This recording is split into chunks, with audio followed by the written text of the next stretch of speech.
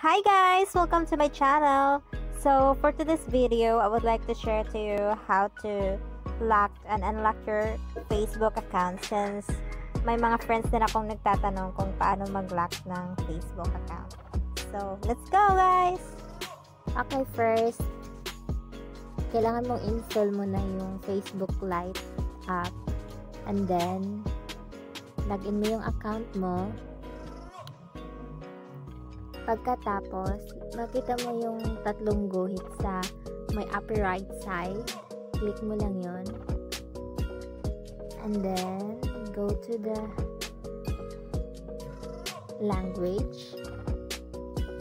And then, pagkatapos, hanapin mo yung parang baliktad na letter C. Ito. Ito. Click mo yan. And then, na change na yung language natin. And then, pagkatapos, click mo ulit yung tatlong linya. Tapos, punta ka sa profile mo. And then, click mo yung tatlong dots. Tsaka itong yung may safe na ano. Ito, click mo yan.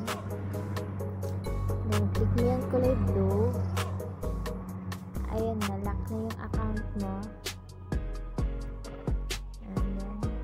tayo.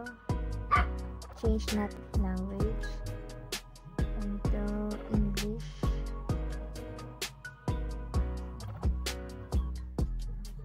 And then, tingnan natin kung lock na ba yung Ayan, you lock your profile. Okay. Okay guys, sa pag-unlock naman, click mo lang yung tatlong linya sa upper right side. Click mo yung profile mo.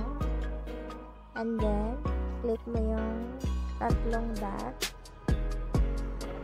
And then, click unlock profile.